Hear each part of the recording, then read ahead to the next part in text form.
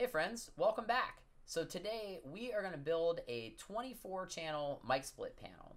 Uh, so this is a 4U hinged um, I.O. panel that's designed to go into an in-ears rig.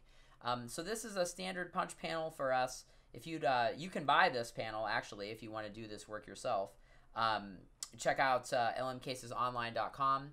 Um, I'll leave a, a, link below so you can check that out.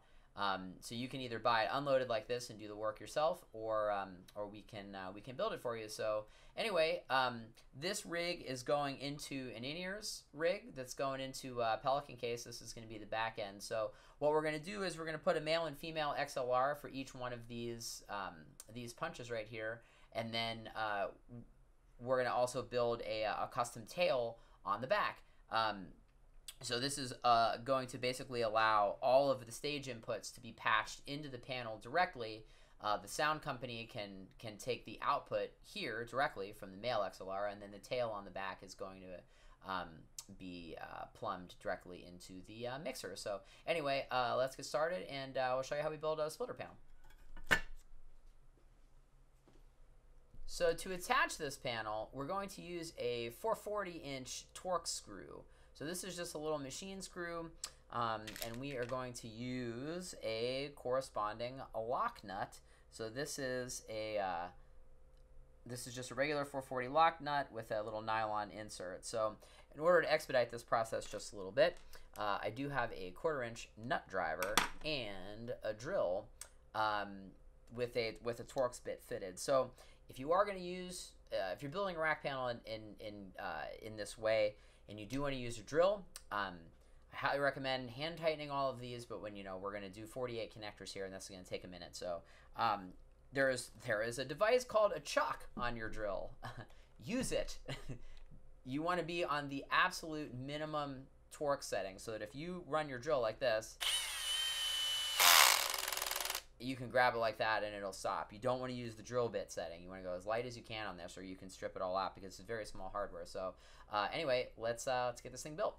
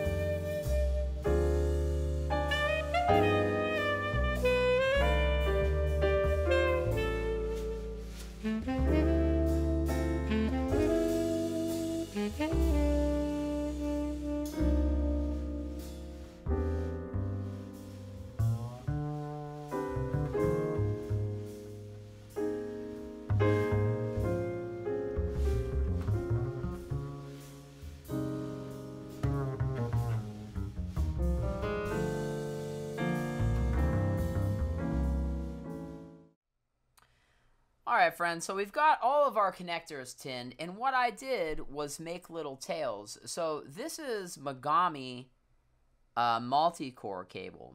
Uh, so this is a flexible multi-core cable.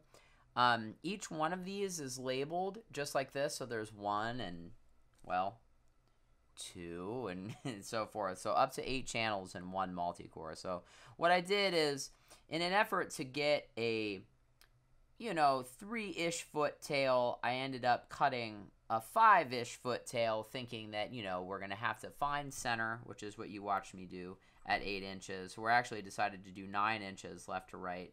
That gets us from a center point on the panel just like this and uh, we can we can stretch our, our pieces left and right here. So um, what is going to happen with this particular panel is there are lacing bars that go across here. So all of this cabling will actually get tied down. Um, so when you're doing a split panel for in-ears, uh, you don't actually need a transformer. Um, you're essentially just building a very pretty Y cable. Um, if you want to get crazy with it, you can add a little switch on each one of these that uh, will lift the ground, um, which basically it just, uh, you wire the switch in line to pin one, and then you can um, uh, just click the switch and it, it just breaks the circuit on, on pin one uh, to get ground uh, loops out of the equation. But in theory, um, if you're if you're tying all of your grounds together, it's it's okay. That being said, uh, with our jumper cables, uh, so I cut this little um, this little this little section, which I you know I, I, would lie to you and tell you that I measured it, but I didn't. It's just an eyeball. Um, so in each in each one of these um, in each one of these um, conductors here, or one of these these pairs, you get four cables in each of this. So you have your hot, your cold, your uh, your ground um, and then you also get this drain wire right here. So oftentimes if you're looking at cable specs and they're calling something a drain wire, you do have your shield and then you have this separate uh, jacket that's in here. Um, you can, with a Neutrik connector, with a standard uh, NC3 connector, which is what we're using here, um, you do have pins 1, 2, and 3, which are your, your hot, your cold, and your ground. And then you can also ground at the physical uh, chassis right here. So if we do have four uh, connectors here, you can ground at the physical chassis. Um, you know, I, I, I think you can get crazy with that kind of stuff. Um, you know, it's uh, you you can argue that this is steel uh, and this is aluminum and they're non-conductive. So you know, um, you're you're touching it with the the screw heads here. Um, you know, you, you can in theory argue that you're you're making that ground already, especially because within uh, within the jacketing here, you know, we're taking the shielding that came out of here and twisting it, and then this drain wire is also an un um, an unjacketed or an uninsulated cable, and it's also touching it. So in my mind, doing that's a, a, a bit redundant. Um, so I, I'm just gonna I'm not gonna gonna use it here. So I, am just gonna cut the uh, the copper I'm just going to cut this copper shield off, use it as pure shield, and use the drain wire as the, uh, the ground wire as our pin one. So uh, what I'm going to do now, uh, before I start the time lapse, so that this doesn't bore you, that, that whole process that you watched for, for however long that took, took about an hour to load and tin these. So it's, you know, this is a very labor intensive process to do this. So um, I'm going to uh, get this as my out so my out XLR uh, per, so this is in, this is out, this is in, this is out, and etc. Um, I'm going to get this as a tail soldered in uh, just like this, have this loose, and then when we go to tie in uh, our input, um, we can uh, we can we can trim this down. So um, here is uh, here we go.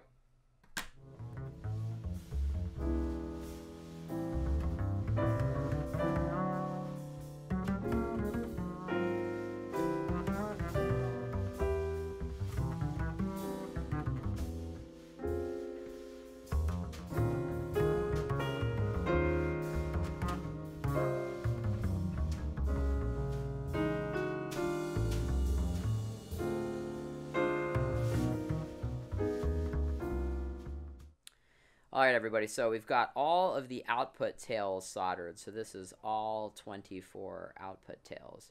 You might be asking yourself, man, that was really tedious. Is this why they do this with an integrated PCB?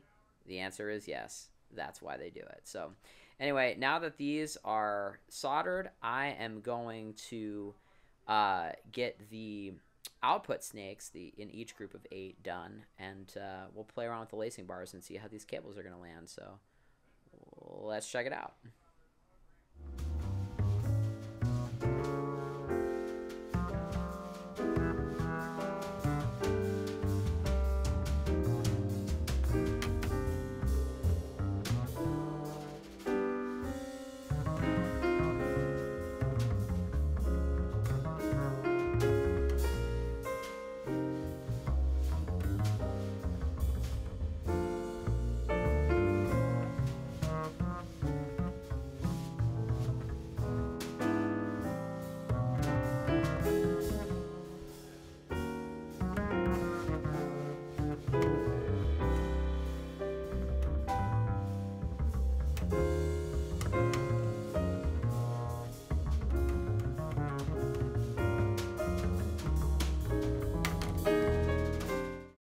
Right, everybody. So this is the first one out of 24.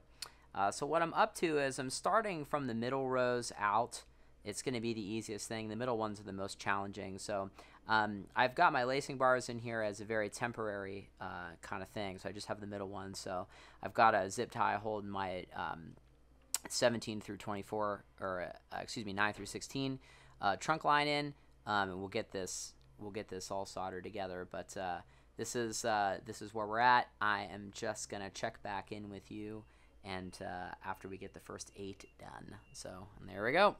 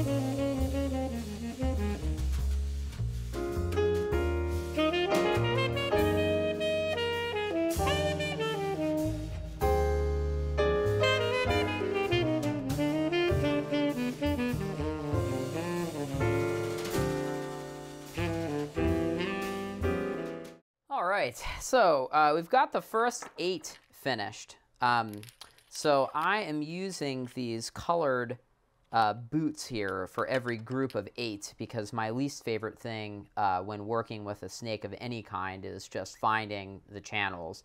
Everything always gets really tangled. It's just it's just a pain. So uh, with Neutrik, you can buy these little boots. Um, I I have uh, gray, which I think actually looks really cool. I'm gonna definitely uh, start to add these to a lot of my cables. Um, I have a blue one and I also have a green one. So the first eight are labeled uh, with the, uh, the gray. Um, and then I've also got heat shrink on here. Um, so one of the things that, that also kind of irks me is when you get to the six and the nine. Um, so these do say uh, five and then five spelled out. So um, I've got all of my tails kind of taped together like this so that I can keep the um, I can keep the ends of these all a same length. Um, uh, I, have been doing a lot of time lapse with this project because I'm, I'm, I'm, under a bit of the deadline to get this done. And if I if I really go crazy with filming, um, I'm, I'm never going to finish up. So uh, one of the things that I did do was um, make this heat shrink uh, here just to kind of guide things. This is going to go into a rack. It's technically never going to be opened, but uh, these these three individual lines of, of eight um, I, I, felt that it would be nice to just kind of keep them together. So um, I am going to work on uh, 9 through 16.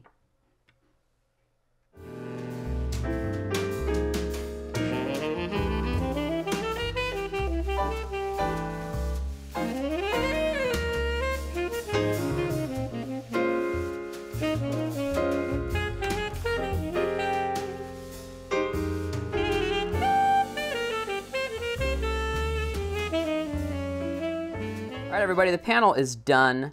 Here are our male XLRs color-coded gray, blue, and green. All the cables are nice and dressed on the, oops, on the back end here.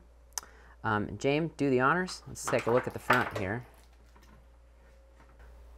Here's the front of the panel. So this is uh, an in and an out, and then the, uh, the XLR tails will be permanently patched to the mixer. So we're about to build this in-ears rack now.